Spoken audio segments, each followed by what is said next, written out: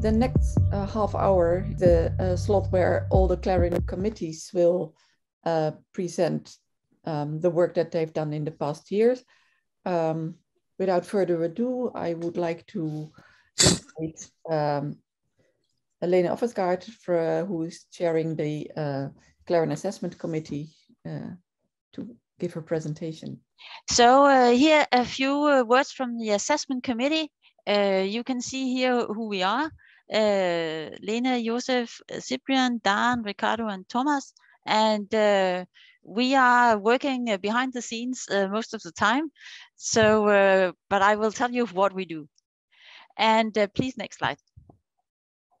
So uh, we do assessment of uh, B centers and uh, now I'll give you a short status for the period from mid-September last year to mid-September now.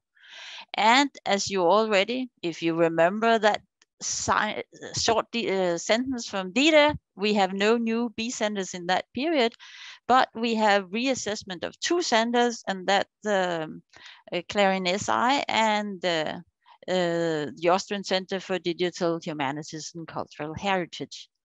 And then we have still some uh, uh, centers in process from the round of number 17. We're going to finalize that here uh, in the next few days. And then I'll just tell you that we have centers that still is in the CTS process. And for those that are not very, um, that are a bit new to this, it's uh, CTS is the core trust seal. And to, to be a B center, you will have to go through this core trust seal certification process. And that is quite a thing. So I would say it easily takes up to, to nine months to go through this. And uh, even we call up, we talk about the B center checklist and the B center assessments. We are kind of only the cream on top of a very difficult assessment that's go from the CTS the core trust seal. And of course, it's not that difficult. So please give me the next slide. So here I'll just tell you a little bit about the steps to become a B center. And uh, first, the first step is to become a C center. And uh, what is that? That is metadata harvest to the VLO and uh, when you have that kind of process up and running, uh, you can then apply for the, the core trust seal.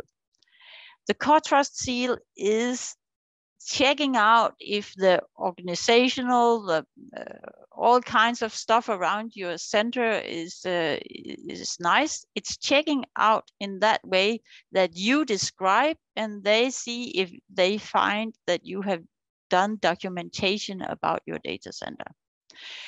The happy thing is that Clarin will pay the fee for this.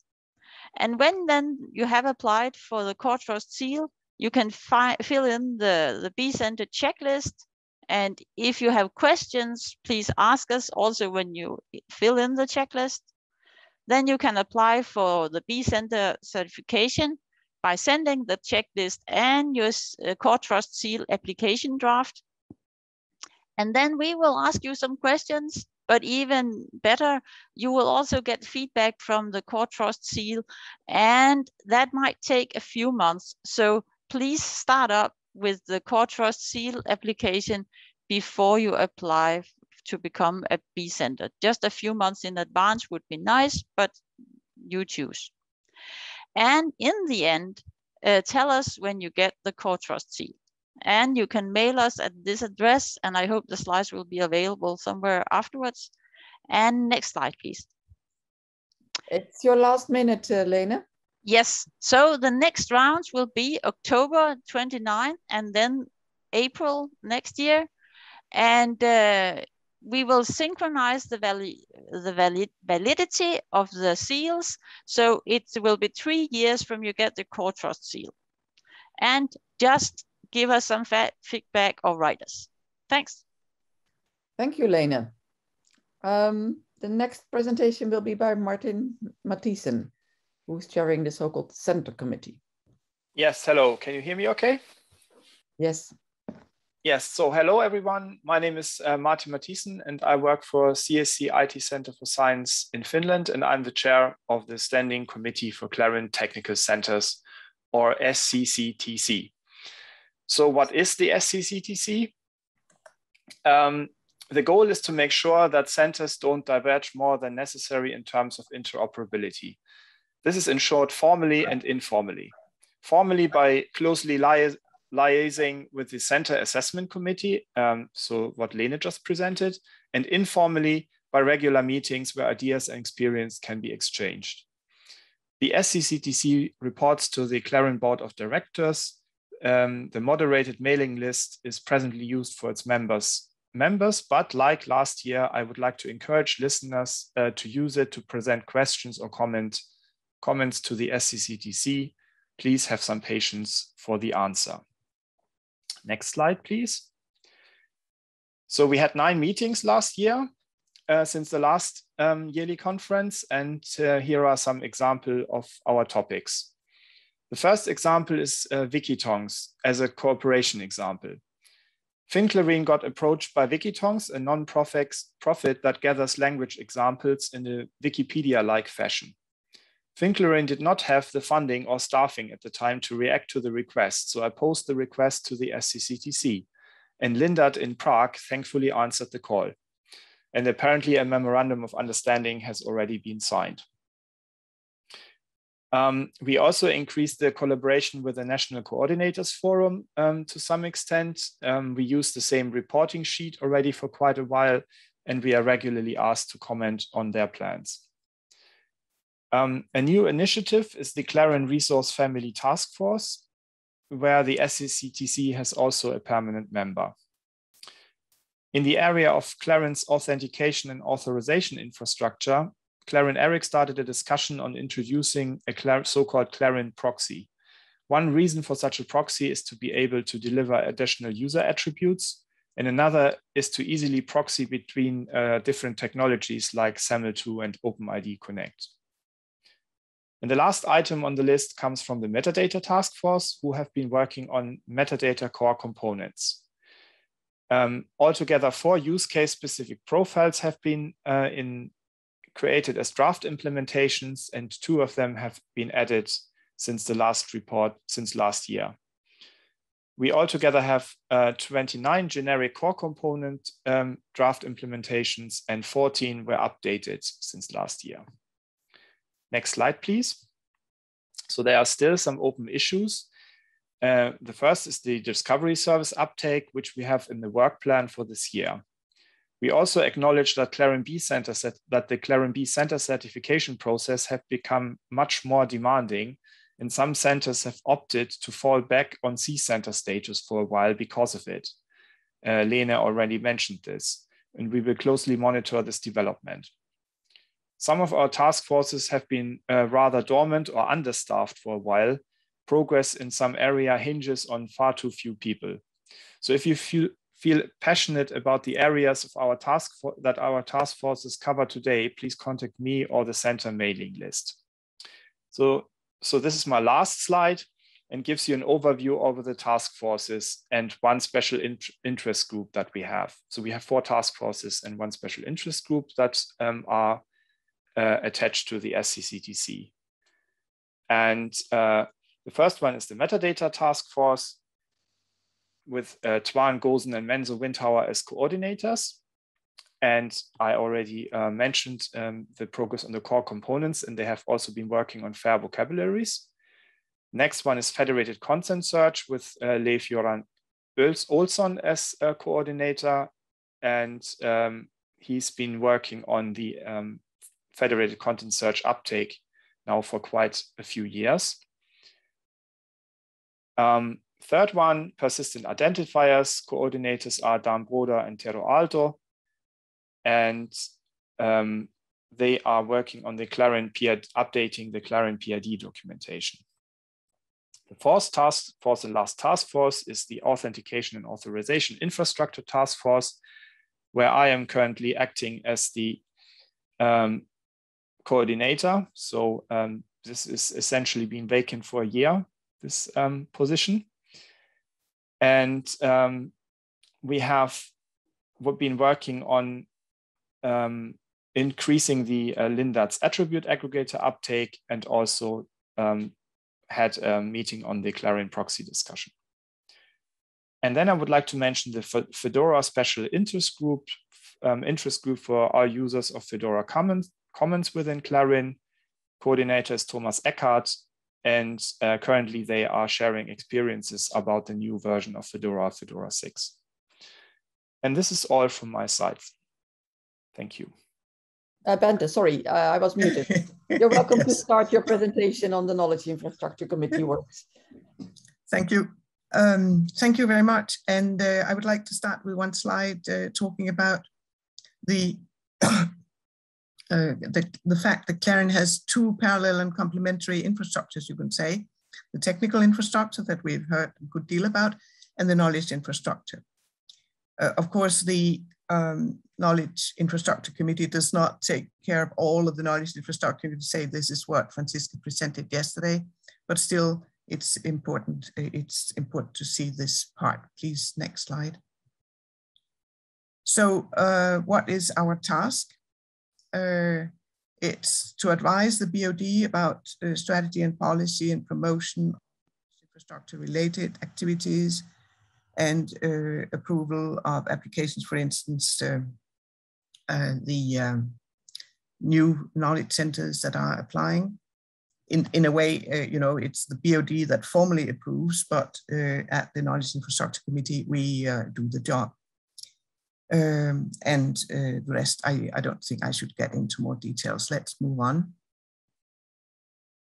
Yeah, so what have we been doing? The knowledge centers are the most important part of our portfolio, and here's a link to them. Um, and in the this year, two new knowledge centers have been approved, the uh, Center for Computer Mediated Communication Social Media Corpora, and the Clarin Knowledge Center for Dutch. Um, so this means that we now have uh, 25 K centers, and we have one more application in the pipeline, so we'll soon have 26. And the first workshop for knowledge centers was organized November, December 2020. And the purpose was to promote collaboration between K centers to let them know more about each other. You cannot collaborate if you don't know what the others are doing. This was very well received. It was the first one organized of this type and it will be repeated. This year it will be, we will have a workshop on 14th of December. As a result of last year's uh, uh, K center workshop, a group of K centers have started a collaboration on sign language. That's what can come out of this kind of discussion. Next one. So uh, there's a bit more I want to say about the past year. Work has been ongoing to improve the findability of K centers through making sure that they are described with the right keywords so that you, when you do a search, keyword search for K center, you get the right ones out. This is still ongoing, uh, but we are improving, I think. And uh, I would also mention that according to the bylaws, we have maximum five members in the KIC. And uh, out of these, we got four new members in May 21. So uh, this is giving us new blood, new ideas, but of course also uh, a little bit of uh, time for understanding what the task is. What are the plans? We want to continue, of course, to support the Knowledge Center visibility. I mean, with 25 or 26, we really have something.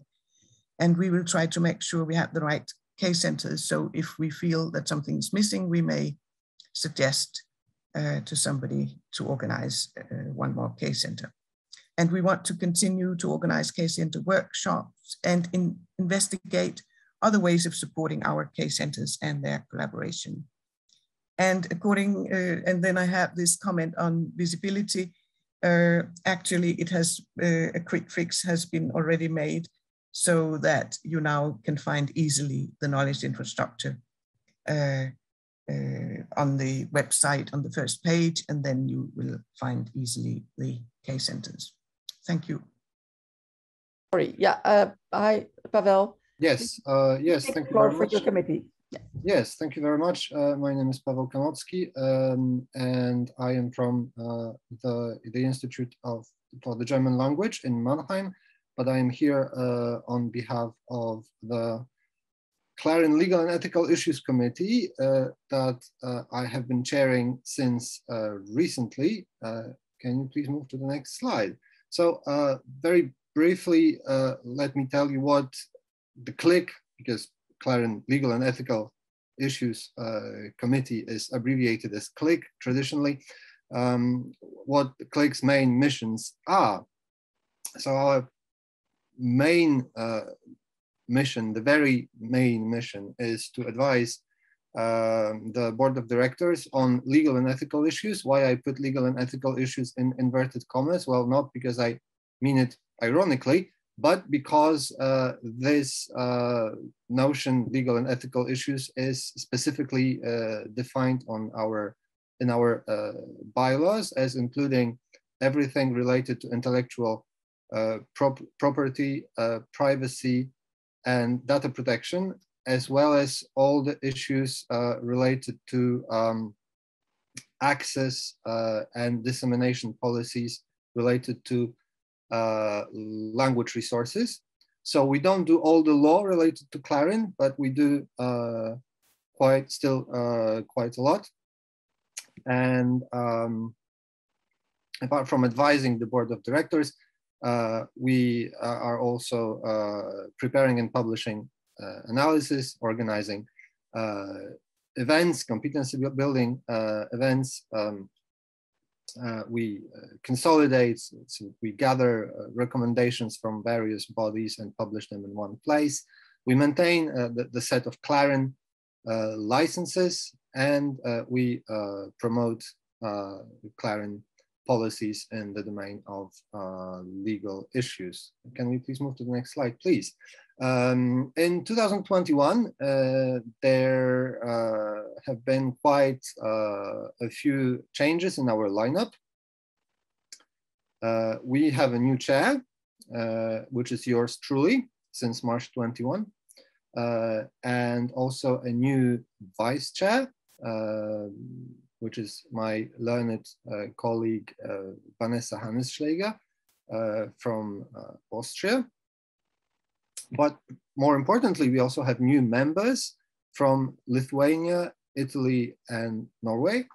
And there is a trend for uh, an increased participation of trained lawyers within the CLIC, the CLIC, uh, which is a very good trend, uh, given that uh, our primary role is to advise uh, the BOD on uh, legal issues. So we, it is not our intention to become a, a law department or a law firm in, in, in any way. We want to uh, be composed of a mix of language researchers and lawyers, but of course to advise on legal issues, uh, it is good to have uh, lawyers and the, the, the, more the merrier, so to say. So we are very grateful to the national consortia that uh, sent us um, highly qualified uh, members. Thank you very much. Um, in 2021, we have had two meetings so far. Let me be more specific. That's three meetings since the last Clarin conference and two meetings in 2021. That is not a lot, uh, I admit, but we uh, have very frequent email discussions in informal subcommittees who work on, on specific tasks or, or, or specific projects. Uh, we exchange emails almost on a, on a weekly basis.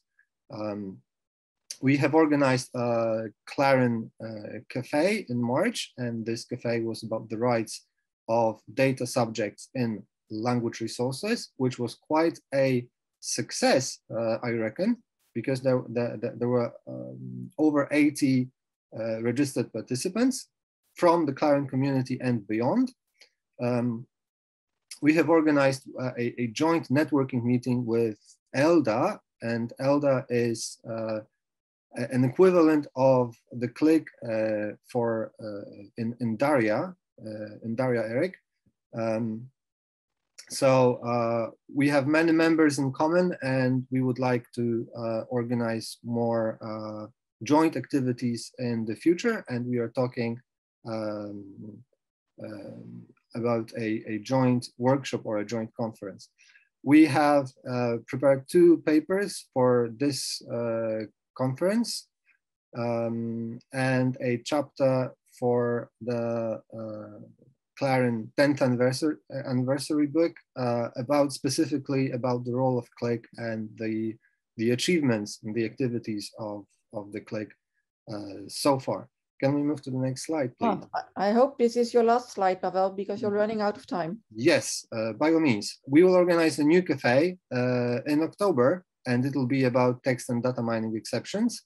Uh, so we are all, you are all invited to participate. We are also working on a set of handouts on the GDPR.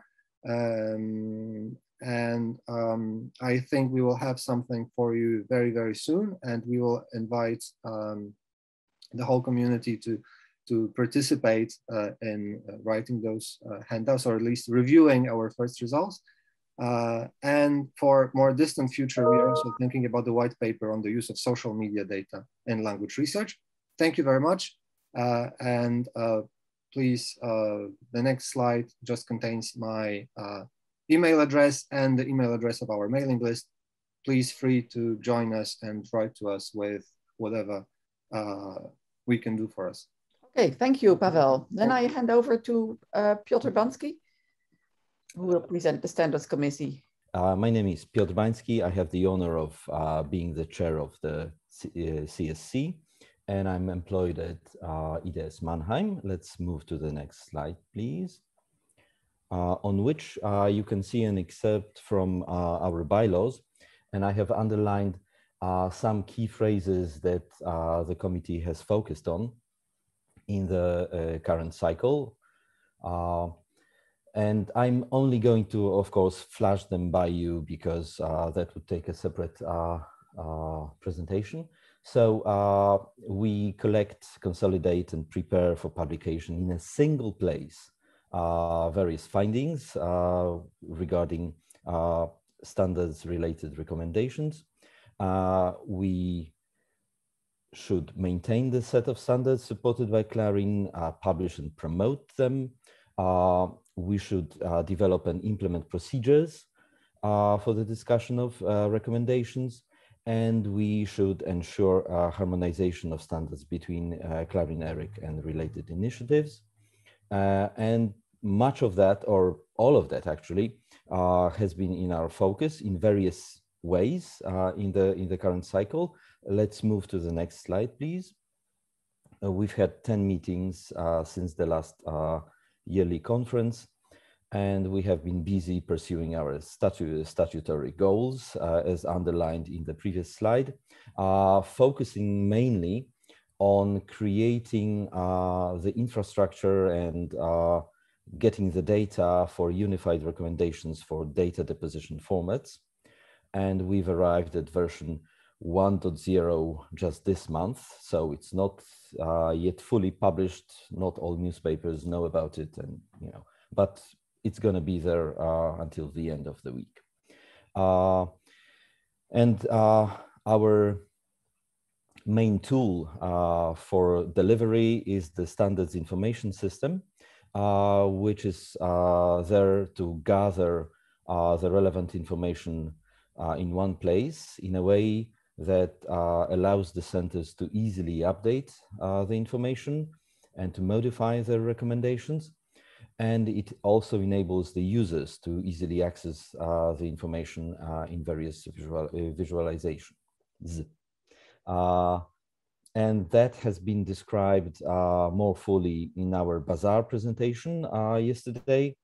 And it's also part of the topic um, of a chapter that we have prepared for the uh, Clarin anniversary book. Uh, apart from that, uh, we have also uh, initiated collaboration with DARIAH Guidelines and Standards uh, Working Group. Let's move on, please.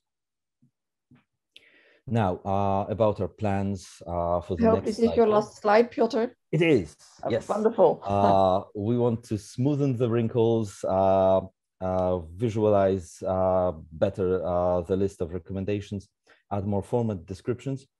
And we, and this is crucial, we want to invite centers to uh, to use the SIS uh, rather than uh, or alongside the recommendations placed at their own home pages. just a sec. And we even think about finding a spot in the B Center checklist. Uh,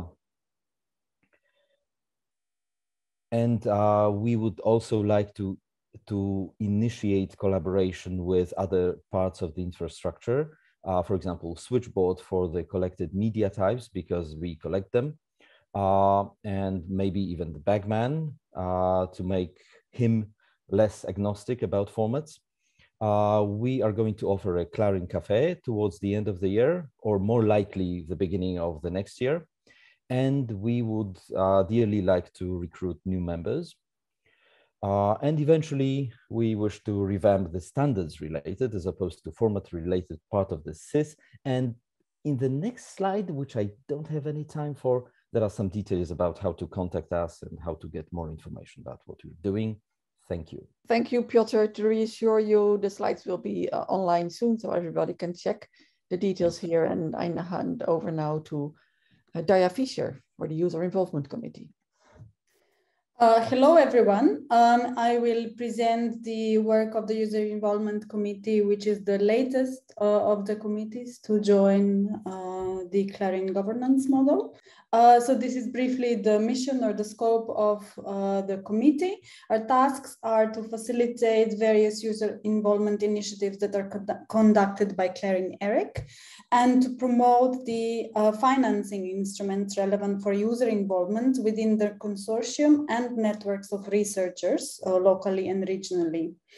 We also uh, aim to promote user involvement participation at the relevant national and international user involvement events, as well as facilitate the user involvement related surveys that Clarin ERIC is conducting.